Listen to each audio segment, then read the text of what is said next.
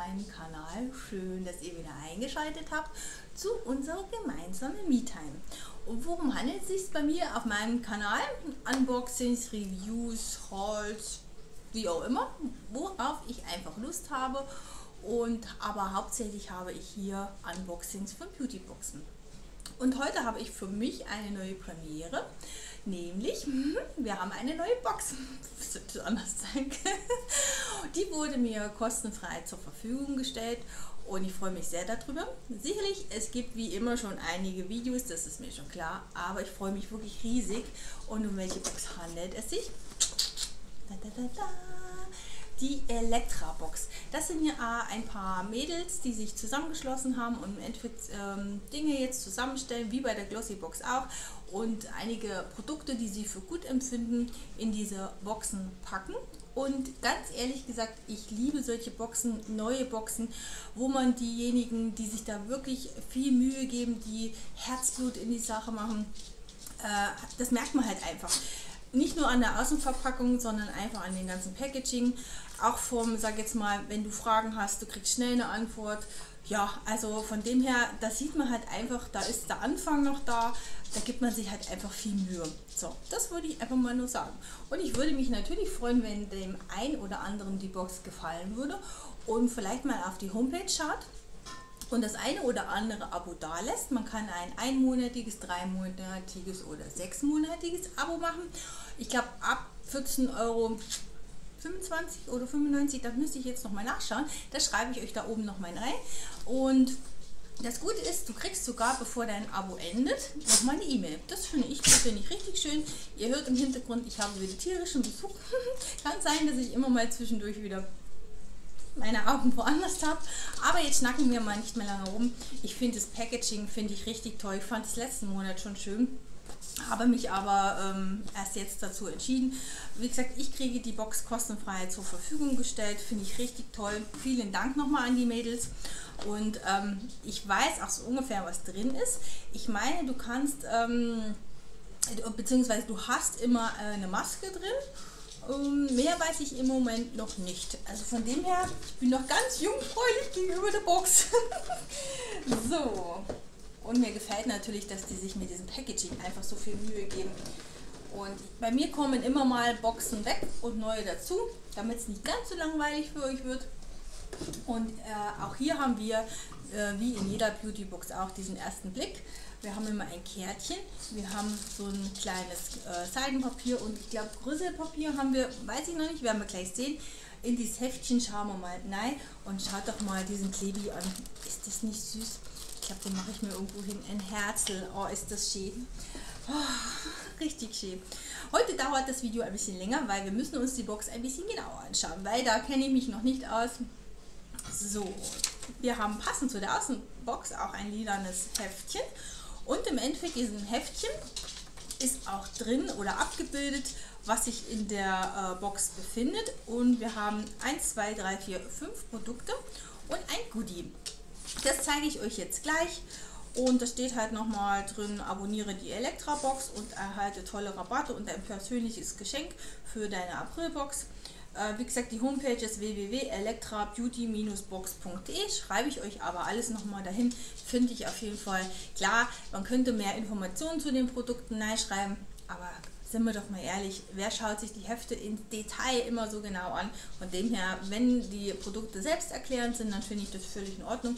Sollte mal ein kompliziertes Produkt dabei sein, dann fände ich das natürlich gut, wenn da ein bisschen was daneben stehen wird. Aber grundsätzlich finde ich das toll. Und jetzt versuche ich mal, den Klebi nicht zu zerstören, was natürlich nie funktioniert. So. Ja, wir haben Rüsselpapier und das ist der erste Blick in die Box. Und das ist nämlich diese Maske, wo ich schon gesehen habe. Und ich meine, das ist eine koreanische Maske ähm, aus schwarzen Bambus. Finde ich mega. Ich habe letztens auch Masken gekauft, wo ich dann irgendwie in die Schublade getan habe und mir dachte, das Packaging macht mich irgendwie nicht an. Also dann greife ich halt einfach nicht dazu. Und ich sag nochmal, wenn das so schon so poppig, so irgendwie so, nimm mich, ich bin fancy, dann habe ich einfach eine Freude dran. Klar, es ist, ein, ist eine Außenverpackung, aber da hat man halt einfach, da greift man halt mehr dazu. Da hat man mehr Freude dran, als von dem her. Masken gehen ja immer. Und ja, apropos Maske, bleibt schön dran an dem Video, weil es gibt noch eine zweite Premiere, das erzähle ich euch aber am Ende des Videos. Als zweites Produkt, ähm, und da bin ich ein bisschen zwiegespalten, sage ich aber was dazu. Und zwar von der Firma Dina, ähm, ein Fußbalsam. Ich bin ja nicht so der Fußfetischist, die ist auch schon ausgelaufen. Ja, das heißt, sie ist auf. Ja, mei, bin ich so der Fußmensch ähm, und sie ist halt auch ausgelaufen, aber da können die Mädels ja nichts dazu. Aber, auf, und ich, ich persönlich freue mich auch nicht über Fußcremes in Beautyboxen. Punkt. Aber das ist wieder ein Widerspruch in sich, weil wenn da ähm, Handcreme drin ist, nutze ich die auch manchmal für die Füße. Total bescheuert. Also kann ja auch eine Fußcreme drin sein. Ich werde die auf jeden Fall testen, weil sie ist ja schon auf. Und man soll ja seine Füße pflegen. Ist ja wie mit Bodylotion, die mag ich auch nicht, aber ich schmier mich trotzdem ein. Also von dem her, ich mag den Geruch, der hat sowas, ja, wie eine Fußcreme, aber irgendwas Minziges hätte ich jetzt gemeint. Schauen wir mal, was da noch drin ist. Irgendwas mit Öl, Seedöl, Menthol, genau, danach riecht es. Also von dem her, man soll ja seine Füße eincremen. Also von dem her ist es gut, jetzt wiederhole ich mich ja, aber finde ich okay. Bin ja aber jetzt ich persönlich kein Fan. Aber der eine oder andere wird sich wahrscheinlich freuen. Von dem her alles gut. Dann sehe ich auch schon das Goodie, das lasse ich aber zu. Und zwar ist es so ein kleiner Parfümzerstäuber. Ähm, finde ich vom Prinzip her sehr nett, weil finde ich für die Handtasche ganz gut. Ich habe sowas schon und zwar en masse. Das wird mal in eine Verlosung gehen. Ähm, ja, der eine oder andere kann damit äh, was anfangen. Ich mag so Goodies in, in Boxen. Ob man das verwendet oder nicht, spielt für mich keine Rolle. Ich finde halt einfach, da freut man sich, ach, da kommt noch so so ein kleines Extra ob man das dann nutzt, ist was anderes. Also ich finde es toll, finde ich gut, aber ich persönlich nutze es jetzt nicht. Aber das spielt jetzt erstmal keine Rolle. Und dann haben wir drin, packe ich gleich mal aus, das finde ich aber sehr schön. Die Farbe ist nicht so meins, aber das ist auch egal. Und zwar so ein Nagelset. Sowas nutze ich sehr gern für die Handtasche, muss ich sagen. Da ist jetzt drin so ein ähm, für die Nagelhaut zum Zurückschieben, ein Nagelklipser, eine Schere, eine Pinzette und eine Nagelfeile. Und ich liebe sowas für die Handtasche. Meine Handtaschen sind gefühlt 5 Kilo schwer. Und damit könntest du jeden Einbrecher oder äh, der die überfallen möchte, erschlagen, äh, weil es kommt immer wieder was dazu. Ich habe mehrere immer gleichzeitig in Verwendung Handtaschen und die haben dieselbe Füllung.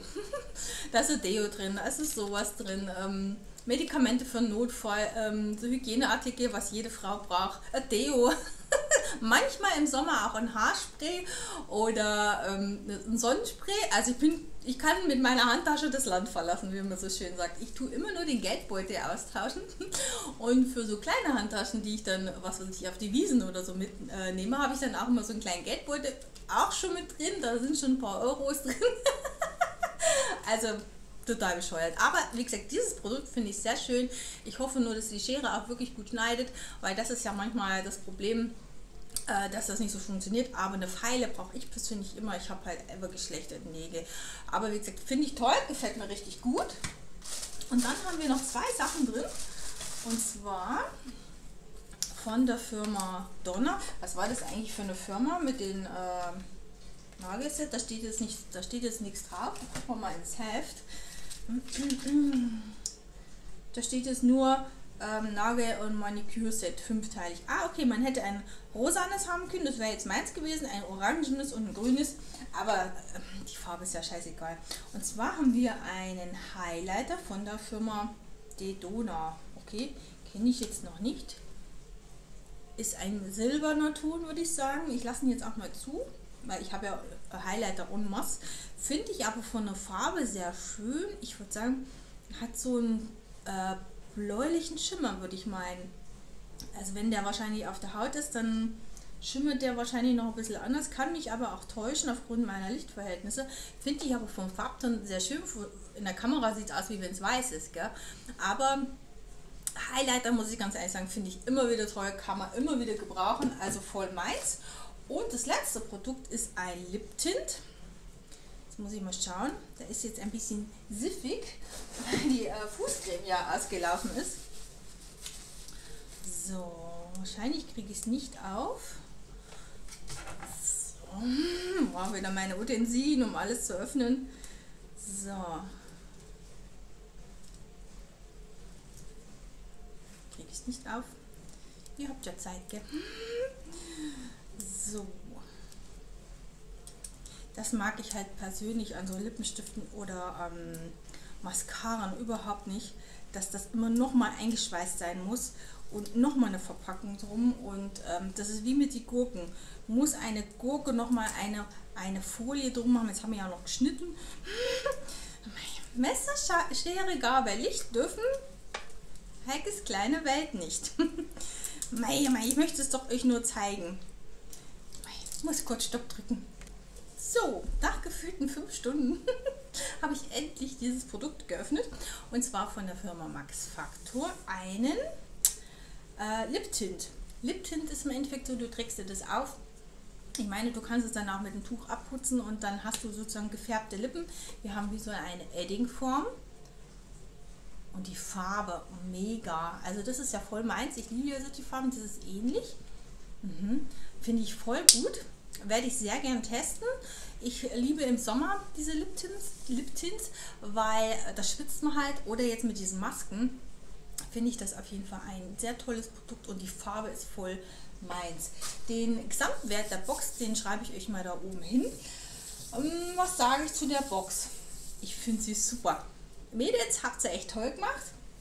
Ähm, sicherlich üben die noch, noch ein bisschen, das merkt man, ist aber nicht negativ gemeint, weil ich habe bei anderen Boxen manchmal auch so das Gefühl, dass da die Produkte einfach nur reingeschmissen werden, das hat überhaupt keinen kein Zusammenhang oder ähm, ja, keine Ahnung. Also wie gesagt, mir gefallen die Produkte wirklich sehr gut. Ähm, ich würde sagen, es ist auch eine Box für jüngere Mädels. Ähm, nagelt mich da jetzt nicht fest, weil es sind ja alles Produkte, die ich auch ganz normal verwende und auch, sag jetzt mal, in einem reiferen Alter unsere Mädels ähm, die Sachen verwenden. Also alles gut. Es sind wirklich tolle Produkte. Ich würde mich freuen, wenn ich weiterhin die Box zugesandt bekomme und euch zeigen darf. Wie gesagt, ich verlinke euch alles unten in die Infobox, da könnt ihr mal nachschauen. Ich finde die auf jeden Fall sehr schön und was mir am besten gefällt, ist das Außenpackaging. Viel Liebe zum Detail und ja, also ich äh, kann nur sagen, Daumen nach oben. Mir gefällt die Box ähm, sehr gut. Ich kann sie wirklich nur empfehlen. Und äh, wenn natürlich auch da ein oder anderes Produkt mal nicht äh, mal drin ist, was einem nicht gefällt, weil das ist ja dann egal, weil dann switchen wir nämlich gleich mal rum. Dann gibt es nämlich wieder eine Verlosung. Und das ist die Premiere Nummer 2. Ich habe euch ja versprochen, einmal im Monat eine Mini-Verlosung, also wirklich Mini. Also für den einen oder anderen, der jetzt hier diese riesen Werte erwartet, den muss ich leider enttäuschen. Und einmal, wenn wir immer die 100er oder jetzt vielleicht die Daumen nach oben 400 Abonnenten schaffen, dann gibt es immer eine größere Verlosung. Ich war nämlich letztens beim DM. Ich bin ja manchmal ein bisschen Spätzünder und wollte diese Haarmasken kaufen, wo ähm, ein Panda oben ist oder eine Ananas oder ein Flamingo. Und natürlich waren die ausverkauft. Ich bin in drei oder vier DMs gefahren und habe nur noch eine bzw. zwei Ananasmasken äh, erhaschen können. Eine hat eine liebe Freundin bekommen. Liebe Grüße hiermit, liebe Maria. Und eine habe ich natürlich verwendet, um auch mal zu probieren, wie funktioniert es dann. Und ich habe zwei für euch gekauft. Das heißt, in diesem Video können zwei Leute jeweils eine Maske gewinnen. Ich zeige es euch gleich und einen kleinen äh, Lippenstift oder Lipstick. Den gebe ich als Goodie noch mit dazu. Also wirklich eine ganz Mini-Verlosung, aber ich persönlich mache bei Verlosungen auch sehr gern mit und freue mich, wenn man dann was gewonnen hat. Ob das jetzt was Großes ist oder nicht, ähm, ja, das kann ja jetzt jeder für sich selber entscheiden. Was müsst ihr tun, um an dem Gewinnspiel teilzunehmen? Und zwar nehmen wir als Hashtag weil wir ja heute die Elektra-Box geöffnet haben und die mir wirklich richtig gut gefällt, nehmen wir als Hashtag Elektrabox. Also es wird keine Elektrabox-Verlust, sondern was anderes. Das zeige ich euch gleich. Ihr müsst bitte mir einen Daumen nach oben geben, mir ein Abo dalassen und einen lieben netten Kommentar eben mit diesem Hashtag Elektrabox. Und was könnt ihr gewinnen? Und zwar habe ich einmal, also ihr wisst im Vorfeld nicht, ähm, wer was bekommt. Einmal von Pantene Pro V. Ich meine, die Masken kosten 6 Euro. Eine Antifriss-Haarmaske. Das sind so zwei Teile. Also hier unten ist das Produkt, was ihr sozusagen auf das angefeuchtete, gewaschene Haar auftragt.